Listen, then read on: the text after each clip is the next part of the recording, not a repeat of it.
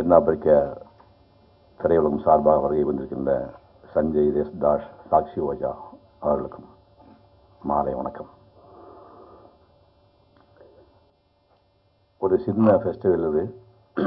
தென்னாப்பிரிக்கா படங்களை நாம் பார்க்க போகிறோம். தென்னாப்பிரிக்கான்னு சொன்ன உடனே நமக்கு மறக்க முடியாத ஒரு சம்பவம் மகாத்மா காந்தி அவர்கள். பத்தொன்பது வயசில் லண்டன் போய் ரெண்டு வருஷம் எட்டு மாதம் பார்சலா முடிச்சுட்டு ஆயிரத்தி எண்ணூற்றி தொண்ணூற்றி மூணில் தென்னாப்பிரிக்கா போகிறார் ஒரு சின்ன ஹம்பிள் ஒரு வக்கீலாக வேலையை ஆரம்பிக்கிறார். ஒரு தமிழன் ஒருவன் பாலசுந்தரமன் பேர். உடம்புல ரத்த விளாரியோட காந்தி கிட்ட வழக்கு தொடுக்கிறதுக்காக போகிறான் போய் காந்தி கும்பிட்ட உடனே தலப்பாக கட்டி கையில் ஏந்திக்கிட்டு கக்கத்தில் வச்சுட்டு கும்பிடுறாரு. காந்தி கேட்டார் ஏன் நீ தலைப்பாக எடுக்கன்னு கேட்டார்? இல்லை பெரியவங்களை பார்க்கும்போது மரியாதைக்காக எடுக்கணும்னா? இல்லை முதல் நீ தலையில் காட்டு அப்படின்னாரு. இல்லைங்க அது சரியா? அது சுயமரியாதை சம்பந்தமான விஷயம். முதல்ல நீ கட்டிட்டேங்கிட்ட நீ கேள்வி கேளுங்க. அதுக்கப்புறம் அவன் தலைப்பாக காட்டினோடனே அவருக்கு அவ்வளோ சந்தோஷமாக இருந்தது. என்ன பிரச்சனைனா அவன் வந்து ஆங்கிலேயன் வந்து பிளான்டேஷனில் அவன் எப்படிலாம் டார்ச்சர் பண்ணான் அப்படின்னு சொல்லி சொல்கிறான் இதை கேட்ட உடனே காந்திக்கு அதாவது வக்கீலா தொழில் பண்ணான்னு போனவருக்கு போராளியாக மாறுறதுக்கு ஆன காரணங்களில் இது ஒரு முக்கியமான காரணம். இதுக்கப்புறம் தமிழ்நாட்டில் இருந்து எல்லையாடி வள்ளியம்மன் ஒரு ஒரு பெண்மணி பதினாறு வயசு பொண்ணும் இந்த போராட்டத்தில் சம்மந்தப்பட்டு சிறைக்கு சென்று சிறையில் வந்து அவங்க கொடுமைகள் தாங்காமல் வெளிவந்து சில நாட்கள்லேயே பதினாறு வயசு பொண்ணு சேர்த்து போகும். இங்கே நிறையா தில்லையாடி வள்ளியம்மை பேரில் நீங்கள் நிறையா பேரில் வச்சுருப்பாங்க. அதுக்கப்புறம் நாகப்பன் ஒருத்தர் நாராயணசாமி இவங்கெல்லாம் தமிழர்கள் காந்தியோடு இந்த போராட்டத்தில் கலந்து கொண்டவர் டால்ஸ்டாய் பண்ணைன்னு ஒரு ஒரு காலனி வந்து காந்தி ஏற்பாடு பண்ணி அங்கே தான் சேவலர் தொண்டர்கள்லாம் அங்கே தங்குறாங்க. அந்த டால்ஸ்டாய் பண்ணைக்கு ஜோகனஸ்பர்க்கும் ஒரு இருபத்தொரு மைல் தூரம். தினந்தோறும் காலையில் நடந்தே இருபத்தொரு மைல் போயிட்டு திரும்ப நடந்து காந்தி அந்த டால்ஸ்டாய் பண்ணைக்கு போவாங்க கட்டுப்பாடுனா உச்சமாக இருக்கும் காந்தி கிட்ட நூறு பேர் இளைஞர்கள் ஒரு ஐம்பது பேர் பெண்கள். பெண்கள் எல்லாம் பதினாறு வயசு இருபது வயசுக்குள்ள. அந்த தொண்டர்கள் வந்து இருபத்திலிருந்து முப்பது வயசுக்குள்ள எல்லாம் சின்ன வயசு வாங்க இந்த ஹால் பெருசு. இதில் பாதி அளவு உள்ள ஹாலுக்குள்ளே நூற்றி ஐம்பது பேர் படுக்கணும். படுக்கிறதுக்கு தலையணை வந்து இந்த நேரத்தில் மூங்கில் குச்சி பேம்போ ஸ்டிக் இந்த சைஸு காடா துணி. இதுதான் அவங்களுக்கு படுக்கிறதுக்கு பெட்டு இதில் படுத்துட்டு இருக்கும்போது தவறுதலாக கை மேலே பட்டால் கூட ஒரு பெண் மேலே பட்டால் தவறாக போயிடுமென்னு பல நாட்கள் காந்தி வந்து தூங்காமல் முடிச்சுட்டு நைட் வாட்ச் வாட்ச்மேனுமே முடிச்சிருக்காரு ஒரு கட்டத்தில் அந்த பெண் குழந்தைகளை கூப்பிட்டு குழந்தைகளாம் நீங்களா மொட்டை போட்டுருங்க அப்படிங்கிறாரு. பாபுஜி என்ன சொல்கிறீங்க இதில் நீங்கள் சலூன்கெல்லாம் போக வேண்டாம். நானே மொட்டை போட்டு விட்றேன்னு காந்திஜியை மொட்டை போட்டு விட்றாரு. இப்போ இருபத்தஞ்சி வருஷத்துக்கு அப்புறம் எழுதுறாரு அது ஒரு காட்டு முராண்டித்தனமான செயலாக இருந்தாலும் அன்று அந்த குழந்தைகளை காப்பாற்றுவதற்கு எனக்கு வேறு வழி தெரியவில்லை அப்படின்னு சொல்கிறார் சிறைச்சாலையில் ரொம்ப டாய்லெட் ரொம்ப மோசமாக இருந்துச்சு. அவரும் ரெண்டு மூணு தொண்டர் சேர்த்து டாய்லெட் மலம் அள்ளினார் காந்தி. சிறைச்சாலை மலம் எப்படி நம்ம நல்லா நல்லா இருக்கிறதே மோசமாக இருக்கும். சிறைச்சாலைக்குள்ளே எவ்வளோ குரூடாக்குன்னு வச்சுப்பாங்க மலம் அள்ளினார். தச்சு வேலை செய்தார்.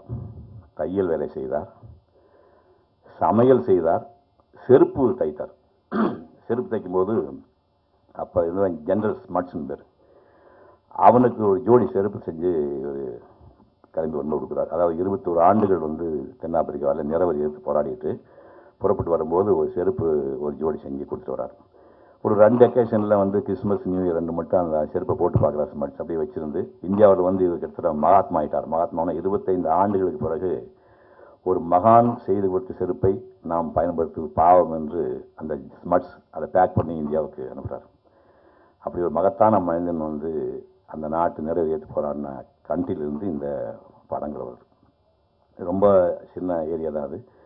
இதுக்கு மத்திய அரசோட உணவு பேரில் கலாச்சார பரிவர்த்தனை பண்ணிக்கணும்னு. முதன் முதல்ல இந்தியாவில் முதன் முதல்ல சவுத் ஆஃப்ரிக்கன் ஃபிலிம் ஃபெஸ்டிவல் இங்கே தான் நடக்குது.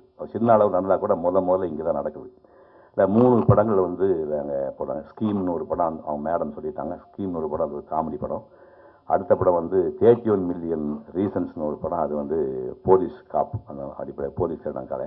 மூணாவது ஜமா ஜமாங்கிற கடை வந்து சட்டவிரோதமாக போய் தங்க சுரங்கம் தோன்றவங்களுடைய லைஃபை சொல்லக்கூடிய படம். இந்த மூணு படங்களையும் நம்ம பார்க்க போகிறோம் அது பின்னாடி சொன்ன ரெண்டு படங்கள் டயரக்டர் வந்து நாளைக்கு வரப்போகிறாங்க அவங்க வந்து உங்களுக்கு ஃபேஸ் டு ஃபேஸ் அந்த படங்களை பற்றி சொல்ல இருக்கிறாங்க. இந்த ஒரு அரிய சூழ்நிலையில் இந்த திரைப்பட விழாவை துவக்கி ரொம்ப சந்தோஷப்படுறேன். உலகளவில் இருக்க எல்லா நாட்டுடைய திரைப்பட விழாக்களும் சென்னையில் நடக்க வேண்டும். ஏன்னா சென்னை வந்து சாதாரண இடம் இல்லை இந்தியாவில் ஒரு முக்கியமான பகுதி. இங்கே எல் உலகத்துக்கு எல்லா நாட்டில் இருக்க திரைப்பட விழாக்களும் இங்கே நடக்க வேண்டும் என்று ஆசைப்படுகிறேன். அது மாதிரி உலகத்துக்கு எல்லா நாடுகளுக்கும் நம்ம தமிழ் படங்கள் போகணும்னு ஆசைப்படுறேன் தமிழ் படங்கள் வந்து இன்றைக்கி உலக தரவில் எடுக்கிற அளவுக்கு நம்ம பிள்ளைங்களாம் வந்துட்டாங்க இன்றைக்கி வந்து பரதேசி படம் வந்து உலகத்தில் எந்த ஹாலிவுட் டைரக்டரும் இதை விட பெட்டராக எடுக்க முடியாது. அந்த மாதிரி ஒரு படத்தை வந்து ஹாலிவுட் டைரக்டர் எந்த டைரக்டர் எடுக்க முடியாது. பாலாவுடைய எல்லா படம் நான் பார்த்துருக்கேன்.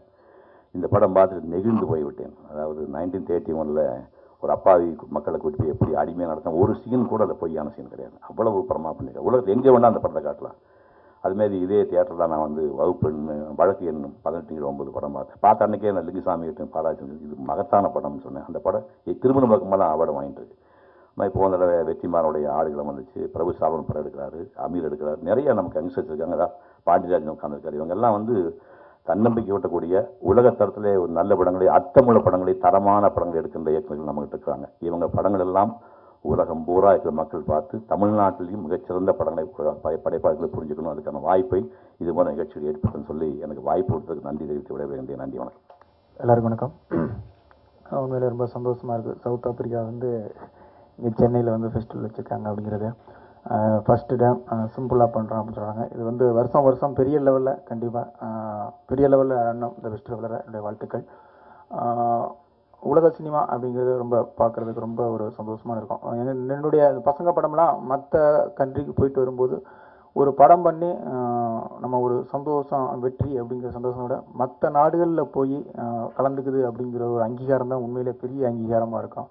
அப்படி வேற ஒரு சவுத் ஆப்பிரிக்கா மற்ற கண்ட்ரிலிருந்து இங்கே வந்து நம்ம பார்க்குறோம் அப்படிங்கிறது அந்த கலைஞர்களுக்கு நம்ம கொடுக்குற ஒரு பெரிய மரியாதை அது கண்டிப்பாக உண்மையில் சவுத் ஆப்பிரிக்கா படங்களை எல்லாம் பார்த்துருக்கேன். அதுவும் நம்ம தமிழ் படங்களோட நம்ம கலாச்சாரம் மாதிரியே அவங்களும் அவங்கவுங்க கலாச்சாரத்தை ரொம்ப அழகாக இது பண்ணுவாங்க. ஆதிரா சார் தான் சொன்னார் இப்போ இல்லை நம்ம தமிழ் நடிகர்கள்லாம் இருக்காங்க பாருங்க அப்படின்னு சொல்லி அந்த இதில் சொன்னாங்க. கேட்குறதுக்கே ரொம்ப சந்தோஷமாக இருக்குது சவுத் ஆப்பிரிக்காவில் போய் சவுத் ஆப்பிரிக்காவில் போய் நம்ம ஆட்கள் நடிச்சிருக்காங்க அப்படின்னு கேட்கும்போது ரொம்ப சந்தோஷமாகவே இருக்குது. அந்த படம் நான் இன்னும் பார்க்கல. பார்க்க ரொம்ப ஆவலை தோணுது. உண்மையிலே ரொம்ப ரொம்ப சந்தோஷமானது. முக்கியமாக இந்த மாதிரி வேர்ல்டு சினிமாக்களை வந்து உதவி இயக்குநர்கள் தான் ரொம்ப ரொம்ப விரும்பி பார்ப்பாங்க. அவங்களுக்கு இந்த விஷயம் தெரிஞ்சதா என்னன்னு தெரியல. அதுவும் ஃபோர்த் ஃப்ரேம்ஸில் பார்க்குறாங்க. பா ஷோ போடுறீங்க அப்படின்னா வந்து இன்னும் ரொம்ப சந்தோஷமாக இருக்கும் கல்யாணம் சார் யோசிக்கிறாரு. டே ஆயிரத்தி ஐநூறு பேருக்கு மேலே இருப்பாங்க. தேட்டர் தாங்காதுடா அப்படின்னு. கண்டிப்பா. அடுத்தடுத்து பெரிய level. ஏன்னா அவங்க தான் வந்து அடுத்தடுத்து கத்துக்கங்கிற ஆவல்ல இருக்கிறவங்க அவங்க தான் நம்மளும் நாங்களும் அதுதான். நான் கண்டிப்பா அவங்களுக்கும் அதை வந்து நம்ம ஷேர் பண்ணி கொஞ்சம் கொஞ்சம் இது பண்ணோம்னா ரொம்ப நல்லா சந்தோஷப்படுவாங்க. இந்த ஃபெஸ்டிவல் இன்னைக்கு ஆரம்பிக்கிற இந்த ஃபெஸ்டிவல் பெரிய லெவலில் வருஷம் வருஷம் இன்னும் பெரிய லெவலில் வளர்க்கு என்னுடைய மனமார்ந்த வாழ்த்துக்கள். நன்றி.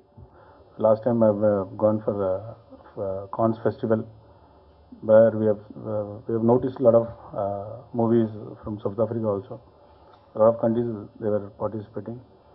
Uh, this year, I think Cons Festival is going to be our Indian festival. All Indian movies are going to facilitate. Uh, like that, this uh, I hope uh, the South African festival also now they are starting. It has to grow like Cons. I wish them all the big festival in, in coming years. Thank you very much.